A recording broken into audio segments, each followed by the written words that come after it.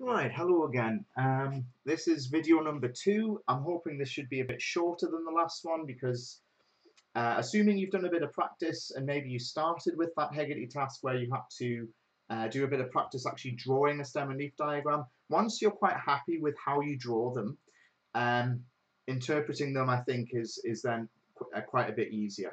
So um, I'm now going to look at task 430 which is stem and leaf diagrams one, where they actually just give you a stem and leaf diagram already drawn, and they ask they ask some questions. Um, I might not even really need to write anything for some of them, because uh, I will just be able to answer it on the screen. Okay, so uh, here's a stem and leaf diagram. Uh, it, it, it's come pre-drawn, which is nice. So one thing to point out is the num the when you're given a stem and leaf diagram, the numbers are already in order. So this um, this lets this like lets you work things out a bit faster than if the numbers were all jumbled up and all written just on one straight line. Uh, anyway, so what have we got? Um, it's showing the times it takes all the people in an office to finish a crossword. And we've got one six, a one and a nine, a one and a nine, etc. Now, actually, before I've read the key, I don't I don't actually know what these numbers are representing, do I? I can guess. I can guess it probably is in minutes, and as you can see, it's in minutes, right? So a 3 and then a 7 means 37. It means 37 minutes. So let's just clarify, um, just because for the for our first question, I don't see any harm in just doing doing a, a little bit more detail. Is in this question we really have the numbers 16, 19, 19, remember, look, this is not a, just a 6 by itself. This is not just a 9 by itself or just a 9 by itself. It's really 16, 19, 19, 23, 32, 37, 41, 43, 44, 46, 49. Okay, so we had the fastest person in the office only takes 16 minutes to do their crossword. The slowest person takes 49 minutes.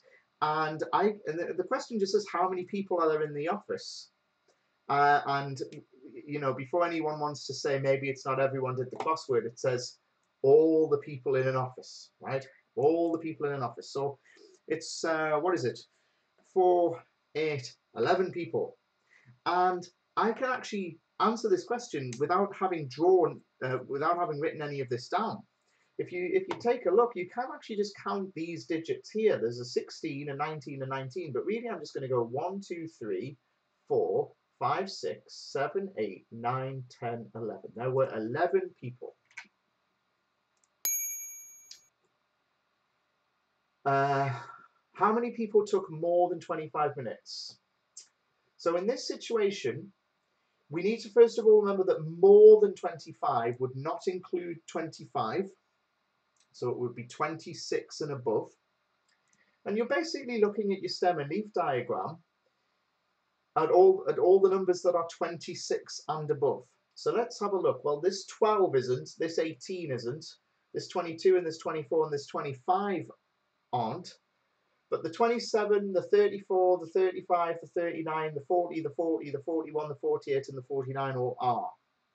So I just need to identify whereabouts I'm looking. Now I'm looking at around 25, so I go to the 20, the 2 in the tens column of the stem, and I look to see the first number that's 6 or more, right?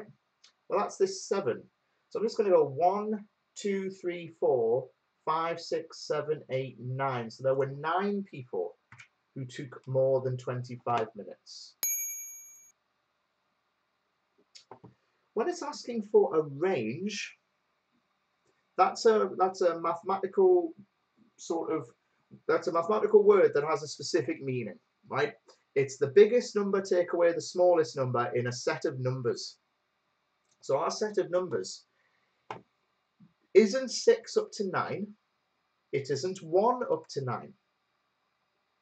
These are all common mistakes that people have when they're not fully understanding the stem and leaf diagram you need to interpret the stem and leaf diagram like what we do over here.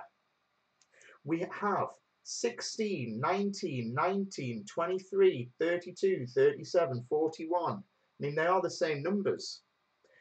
But even if I hadn't written them out here, when it's wanting the range, I will do 49, the biggest number,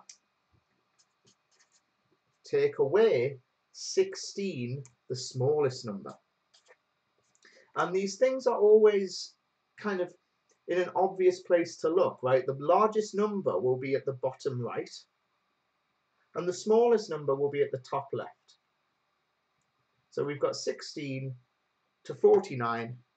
Of course, that means the range is 33.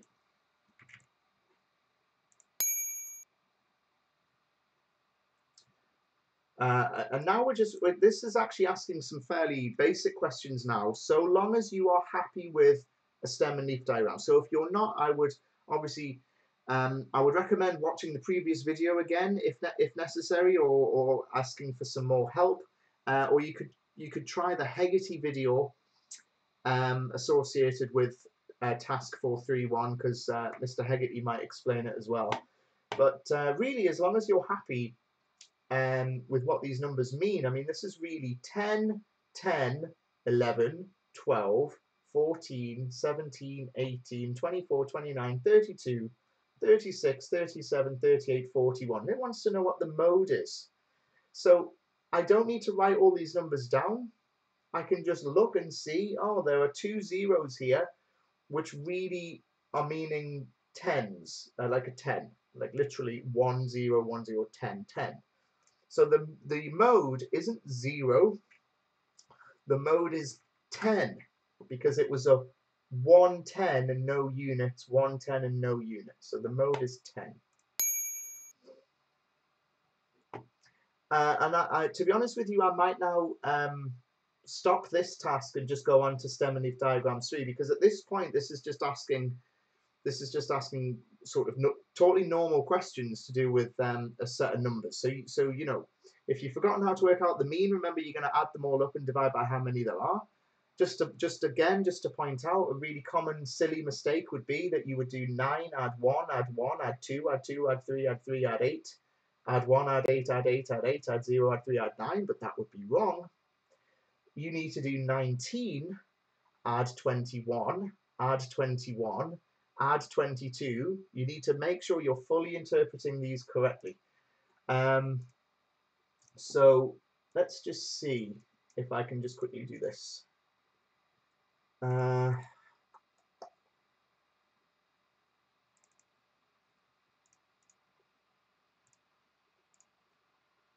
there you go. So we have the calculator on the screen now. Uh, there we go. If I'd been more prepared for this video, clearly I would have already had that set up, but never mind. So what are we going to do? We're going to do 19 add 21, add 21, add 22, add 22, add, and there are some faster things I can do, right? Instead of writing 23 add 23, I could just write add 23 times 2, add 28, add 31, add 38 times 3, because a BIDMAS, it'll do the, those multiplications first and then add everything up. Add 40, add 43, add 49. So the numbers all add up to 456. And let's see how many there are, because it might have changed. So there's 1, 2, 3, 4, 5, 6, 7, 8, 9, 10, 11, 12, 13, 14. There are 15 people in this office. So I'll divide that by 15, press the SD button. Uh, rounded to one decimal place is already 30.4. And so there you go. Um, I will show you how to do the median as well, because it's quite a nice thing to do uh, with a leaf diagram is find the median. Uh, so let me just make a quick copy of this stem and leaf diagram. So it was one, two, three, four. Uh, so what questions? This is question six. Um, it's asking for the median. Zero, one, five, seven, one, three, seven, a 6, and then a 0, 1, 1, 3, 8. Now I'll just point out if what I'm about to show you, if you don't if you don't like it that much, what you could do, what, what people sometimes just like to do is write the numbers out. 10, 11, 15, 17. And, and you could keep going to 48. And if you'd written them all down, now you can work out the median. But, but watch, there's something I can actually do just with the stem and leaf diagram. I would cross off 48 and, and 10. I would cross off 43 and 11. I would cross off 41 and 15, 41 and 17, 40 and 21, 36 and 23, and ah, there's my median. My median isn't 7. My median is 27.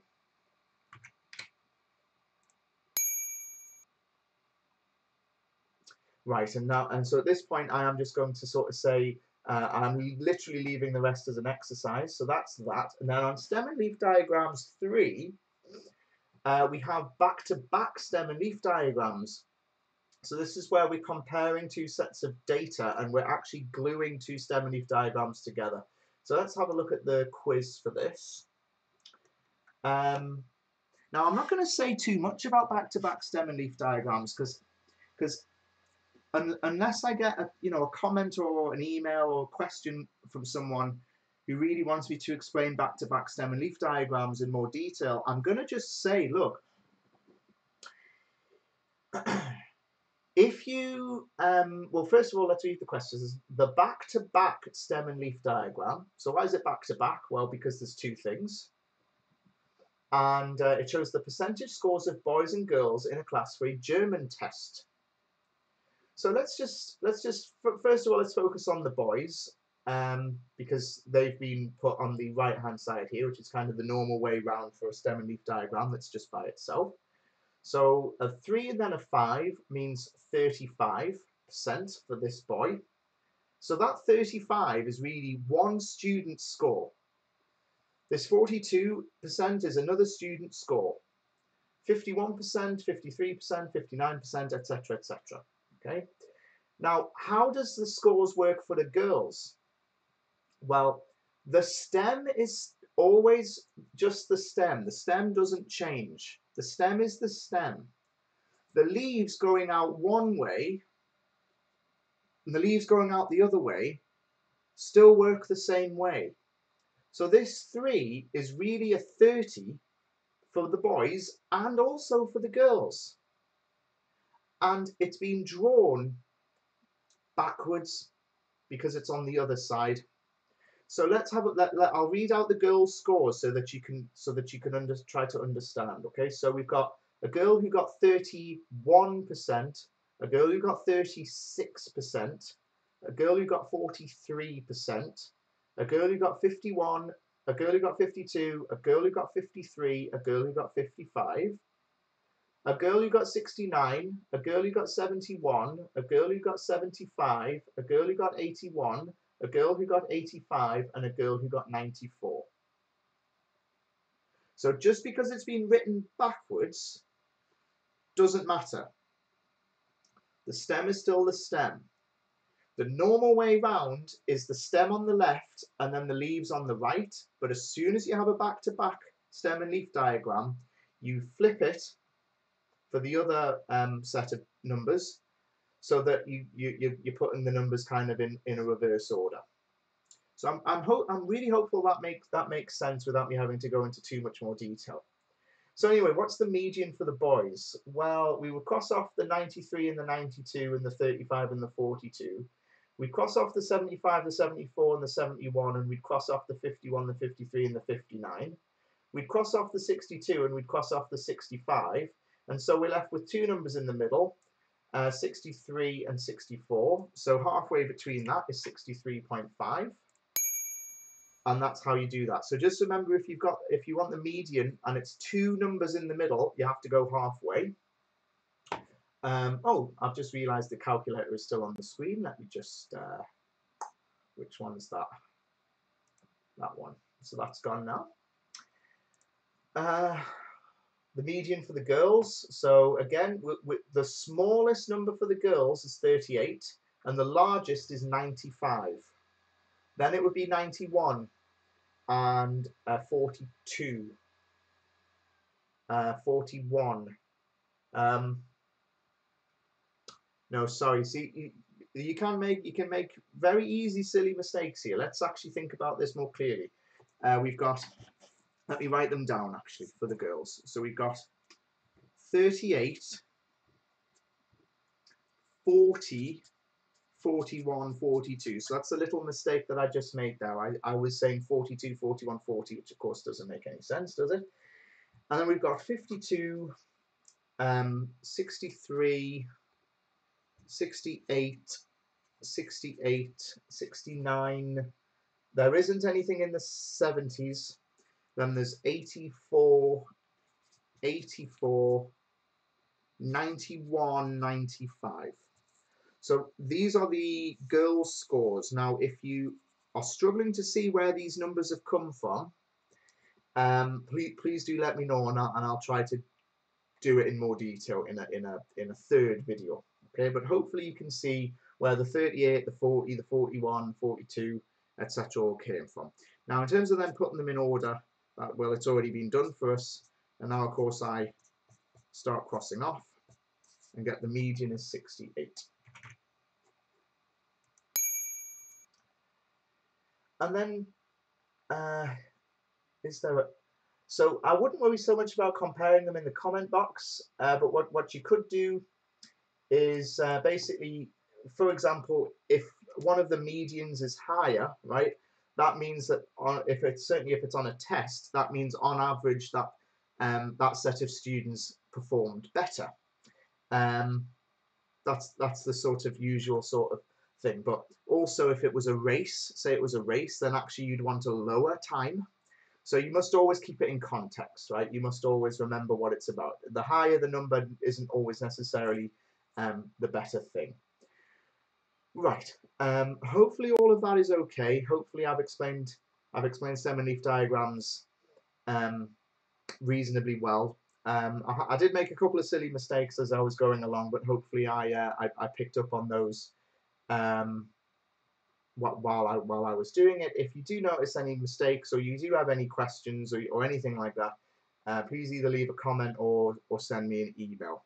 Uh, please also leave a like and um, yeah, if there are any other topics that you would like me to do anything on, uh, it is easier if I have a specific Hegarty task to talk about because then at least um, it gives me a bit of focus and direction on the sort of maths I need to explain.